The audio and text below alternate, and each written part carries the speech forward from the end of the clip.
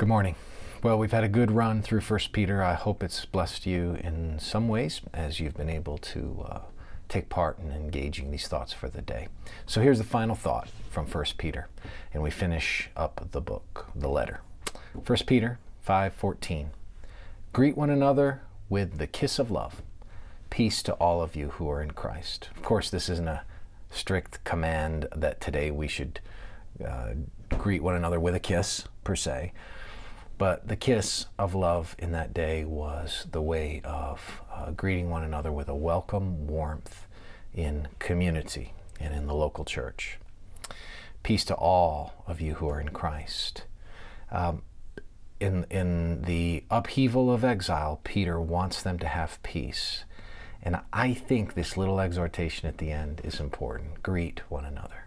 Greet one another. You know, I'm not going to be able in my life to live in exile alone. I'm not going to be able to persevere alone.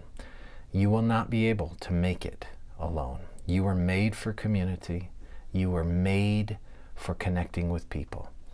And you know what? As, as sometimes as insignificant as the concept of greeting may seem, just the notion that you know there is a place of acceptance in the local church and in the local community, that there is a context where you will be welcome warmly is in and of itself a remarkable encouragement as you walk in a fallen world.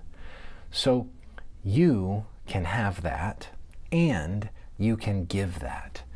My encouragement to you is twofold. One, make sure you're plugged into a local church so that you can experience what it is to be welcomed in Christ in a world that will not welcome you if you're following Christ. Secondly, be a part of greeting one another.